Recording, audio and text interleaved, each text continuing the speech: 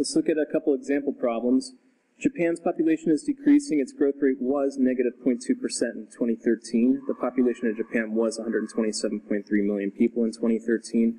If this rate continues, what will Japan's population be in 2050? So, what we're going to do to solve this problem is we're going to use our formula that I showed you, or you could use the exponential growth formula that's in one of my previous videos. So, let's go ahead and do this.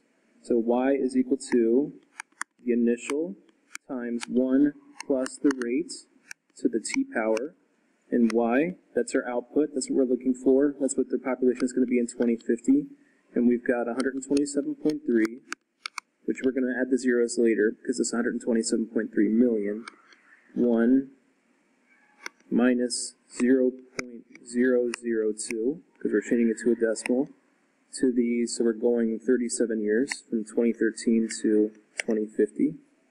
Now that we have that figured out, we just follow the order of operations, do exponents first. Obviously, you're going to be using a calculator for this step.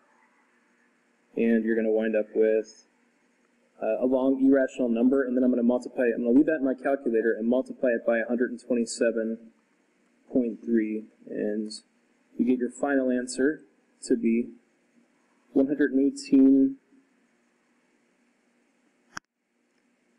118 million 211,147 people in Japan in 2050.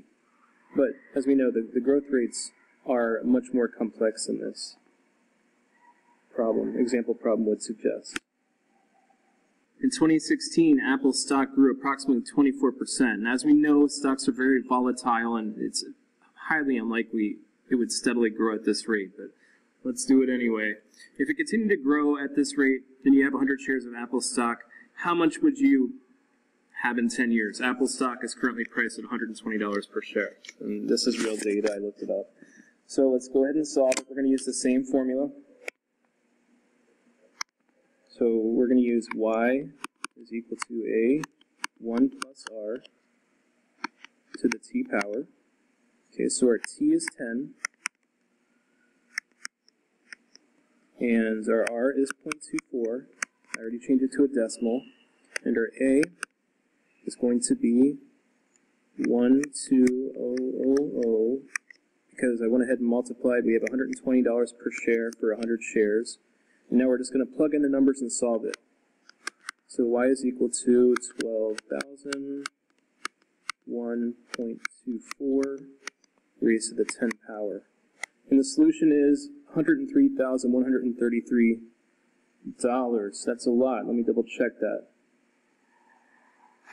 And that is indeed the correct answer. So, what a good investment that would be if it would continue to grow at that rate. But I don't think it will. I think it'll flatten out because there's a lot of competition from Google and Samsung.